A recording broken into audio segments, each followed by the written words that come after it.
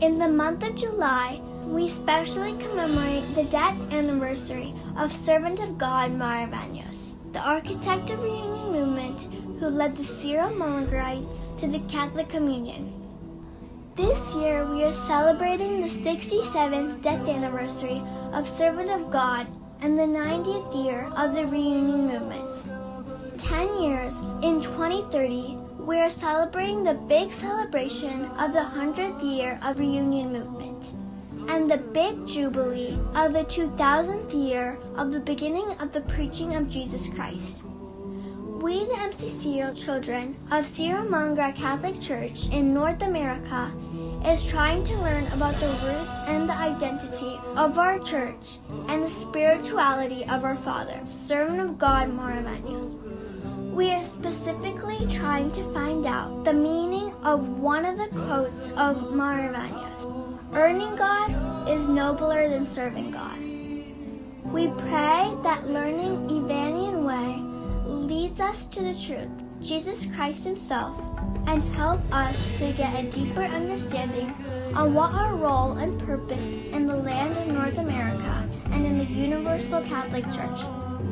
Before starting our spiritual journey on Ivanian Way, let us take a brief dive into the life history of the servant of God and a short history of the Syro-Malankara Catholics.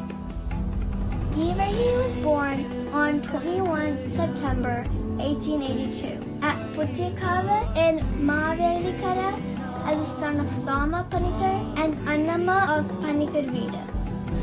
After his training in elementary school, he joined the CMS English school nearby and later continued his studies in a government public school. The Jacobite metropolitan Pulikota Mardivanasios, who was edified by the pious, intelligent, and brave child Givergis, took him to the seminary in Kottayam for higher studies and for priestly formation. He completed matriculation from MD Seminary High School. Later, he passed the Fellow of Art exam from CMS College, Kottayam. He secured his BA and MA degrees in history and economics, respectively, from Madras Christian College. Pulikota Martivanasios ordained him a deacon in the church at Puttankav. As a deacon, he spent his days preaching on the sacraments to revivify the Malankara church. Weakened by strife and litigations, thus he came to be named Kudasha Shamashin, Deacon of the Sacraments.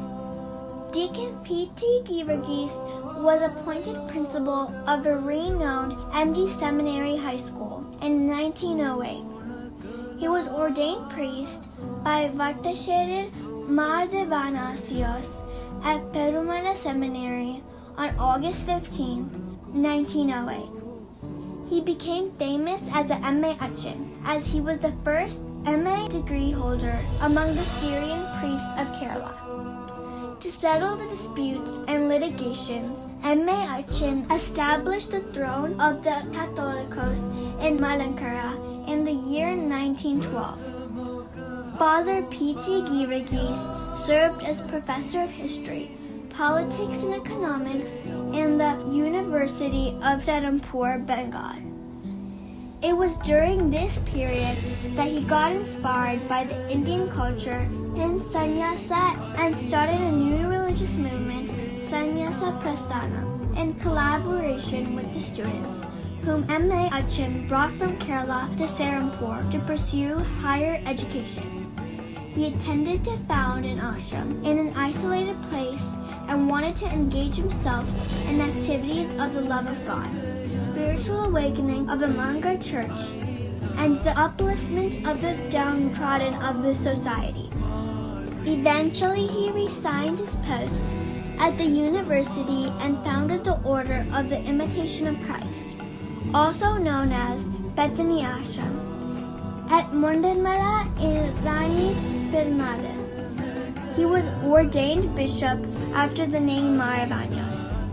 He founded a religious congregation for women, known as the Sisters of the Imitation of Christ, also known as the Bethany Motto, after he was ordained Bishop of Bethany.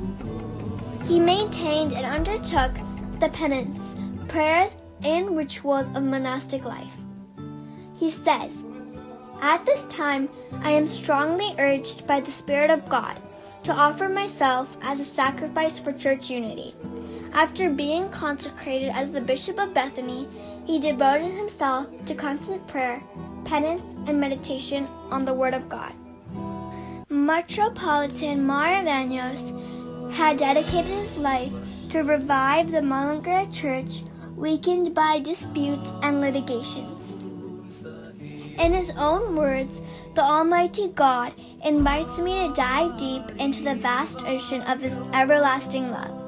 At the time when the Metan Kakshi Bishop's Party and the Baba Kakshi Catholicos' Party were engaged in court litigations, he toiled to bring peace and reconciliation in the church. The Synod of the Orthodox Church, convoked at Parumala in 1926, as a solution to find lasting peace in the church, proposed the reunion of the Malankara Church with the Catholic Church and authorized Mar Ivanios to hold negotiations with Rome for the same. After persevering endeavor for four years, Rome accepted the proposal of Mar Ivanios for union. However, as a verdict of the civil court came in favor of the Metron Kakshi, they backed out of reunion and divorce.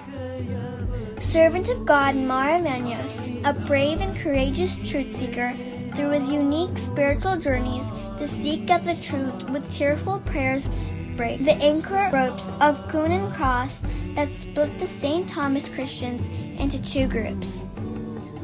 By the inspirations of the Holy Spirit, he entered into the Catholic Communion on September 20th, 1930, along with another bishop, Mar Theophilos, Reverend Father John, Reverend Deacon Alexander, and Mr. Chaco Kirilik, a representative of the laity.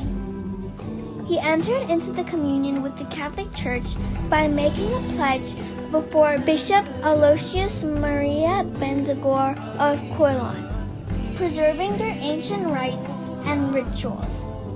This event was the response of the reunion efforts of 300 years begun after the division in 1653. He is known as the prophet of the reunion movement. Jeremiah 29:13 says, "When you look for me, you will find me. Yes, when you seek me with all your heart." This is fulfilled in the life of Mar Ivanios and through the reunion movement. The Malankara Catholic Church did not abandon its liturgy and the reunion with the Catholic Church. Rather, it resolved to preserve it in fact, because this liturgy is considered a great treasure for the whole Church. The Holy See allowed the Malankara Catholic Church to continue to follow the same liturgy.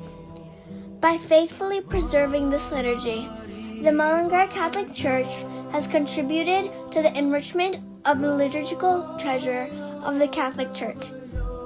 Through constant prayer, penance, and fasting, Mar Ivanios, the servant of God, endeavored to preserve the Syrian liturgy and traditions. He tried to maintain the Antiochian liturgy and its fullness and sanctity. He made all efforts to give this to the faithful.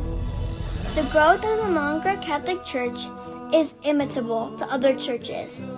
This was possible because of the testimony of the great spiritual life of servant of God Mar Ivanios. He stated liturgy is the source of church life. Ultimate goal of all church activities is to prepare the faithful for active worship. As the children of Syro Malankara Catholics, we have the responsibility to learn the roots and identity of our church. Our liturgies to develop a love towards our church and liturgical celebrations.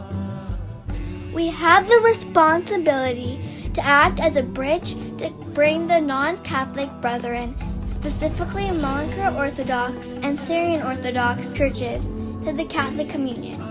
At this time, let us pray for the unity of church and vision of our theophany be carried over through us.